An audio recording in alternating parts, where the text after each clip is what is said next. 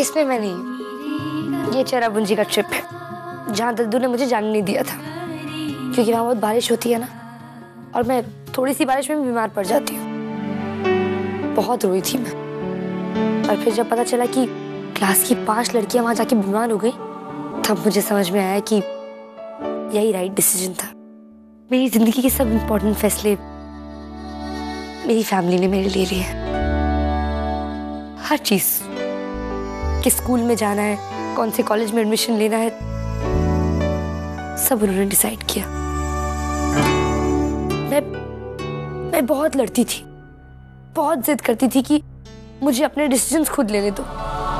Wait करी थी कि कब मुझे अपने खुद के लिए कोई फैसला लेने को मिलेगा। और फिर एक दिन,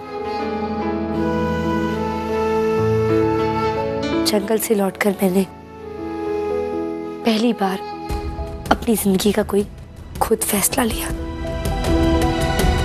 चीकू से शादी करने का फैसला। और अब जब मैंने पहली बार कोई डिसीज़न लिया तो मुझे ये भी नहीं पता कि वो सही है या गलत।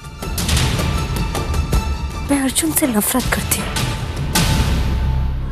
पर मैं उसे अपने दिल से निकाल ही नहीं पा रही।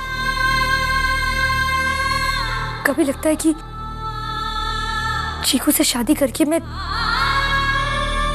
चीकू के साथ अच्छा नहीं कर। रही और फिर लगता है कि अगर मैं शादी नहीं करूँगी तो शायद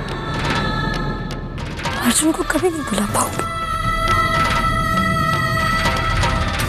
इस वक्त मेरी लाइफ में इतना कंफ्यूजन है कि जब तेरी लाइफ के सारे डिसीज़न किसी और ने लिए तो ये डिसीज़न भी किसी और को लेने दे।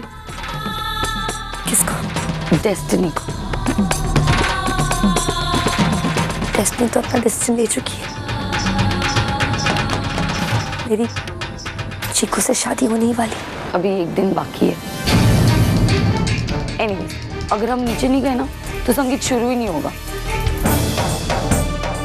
अच्छा तू नीचे चल मैं तैयार होकर आती हूँ